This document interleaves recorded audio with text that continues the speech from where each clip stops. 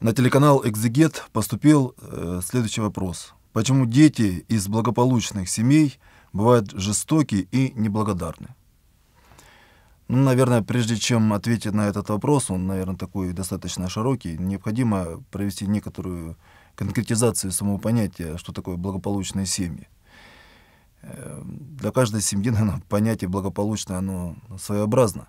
Кто-то считает благополучным те семьи, у которых там денег в не, не в одном банке и яхты, и самолеты и все прочее э, за счастье принимают. Другие считают, что благополучие — это когда есть кусок хлеба на столе и в доме мир и любовь. Но в христианском понимании какой раз второй вариант, он является, наверное, более э, объясняющим понятие благополучия. Потому что благо — это то состояние, которое приближает нас к Богу. Помните э, момент евангельский, когда э, обратился к Христу юноша, говорит, «Учитель благой». Он говорит, «Никто не благ», отвечает ему Иисус, «только один Бог». Поэтому благополучие, это вот, наверное, если мы раскроем само это слово, то увидим, что получение блага как Бога. И вот э, если Бог будет в нашей семье, тогда она будет благополучной, она получит Бога. А если в ней будет другой бог, мамона, вот, в виде злата, серебра и всякой недвижимости и тому подобное, то это не говорит о том, что она благополучна, ну, в христианском, еще раз подчеркиваю, понимании этого слова. И почему дети вырастают жестокими? Жестокость, она приходит в нашу жизнь в первую очередь того, что люди не видят альтернативы этой жестокости. То есть они видят зло, и они это зло воспринимают. Оно, э, зло не только в том виде может существовать, что сделать человеку больно, как бы украсть что-то там, вот, как мы понимаем, в таком широком плане, а зло — это просто отсутствие добра. Ведь э, добро, э, сам Бог есть жизнь и добро и любовь. И вот отсутствие Бога — это и есть то состояние зла. То есть зло само по себе, оно не самодостаточно. Оно не имеет себе самого бытия.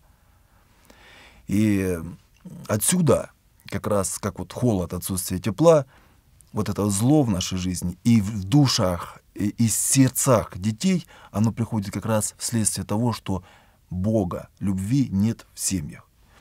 Часто мы слышим, э, наверное, такие с болью высказываемые слова родителей, что мы дали ребенку все, все, что у нас было, мы там ночами не спали, мы э, все средства, деньги, компьютеры, игрушки, все, что ты хотел, мы тебе все дали, а ты вот в результате там даже не хочешь позаботиться о нас там и, ну, что называется, там стакан воды не протянешь. Но э, это является следствием того, что они не знают, не получили вот этого блага, Бога не получили через любовь. Иногда это приходит потому, что нарушается, скажем так, э, сама конструкция э, семейного устройства. Иногда главенство в семье начинает брать мама, что неверно само по себе. Потому что есть определенная архитектура взаимоотношений. Есть дети, есть мама, есть папа. И система послушания в семье выстраивается по принципу послушания старшему и копированию этого образа, этих поведенческих моделей на более младших. Вот ребенок как узнает, что нужно вообще слушать, что есть такое понятие, как послушание. Когда он видит, что мама слушает папу. А почему? Потому что папа старше, папа глава семьи. А почему папу нужно слушать? Потому что папа слушает Бога. Он глава вот этой маленькой церкви, который является семья, и он отвечает перед Богом за всю свою семью. И вот эта модель, она теоцентрична. Ну, а если говорить применительно к церкви христианской, то она христоцентрична. То есть когда главой по существу является сам Бог. И тогда вот эта вертикаль, она выстраивается, и каждое звено занимает свое место. И ведь в этом самое главное что? Что центром и источником является сам Бог. И отсюда благо от Бога исходящее, оно доходит и до низшего уровня, то есть до детей, передаваясь от старших к младшим через заботу, через любовь, через поддельчивость. Вот таким образом, вот христианская модель, она не может привести семью в то состояние, когда дети вырастут озлобленными. Еще раз говорю, это вот так должно быть. Я понимаю, что и в христианских семьях есть нарушения и есть искажения.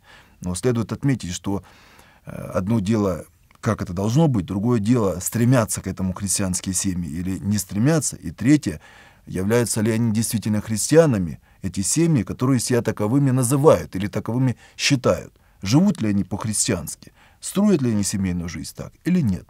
Или, допустим, наоборот, у нас мама пытается перевоспитать папу. Вот она уверовала, пошла в храм, все. Дальше воскресного дня нет, на диване покоя полежать в выходной день у отца нет, он должен идти вместе с ней в храм, и дети, э, как цыплята за курочкой, соответственно, также идти в храм, и все стоять, и в платочках, все должны выполнять. Но ведь эта форма, она э, выражает что? Состояние мамы, которая не христианская.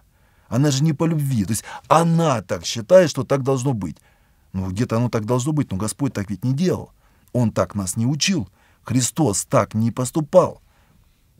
Он наоборот говорил, пожалуйста, придите ко мне а не то, что там давайте все все побросали и вперед, как я считаю. Это неправильная модель. Есть глава, и мама должна подчеркивать всякий раз, что папа главный в семье. Это не просто там я говорю, потому что там домострой, меня могут в этом упрекнуть.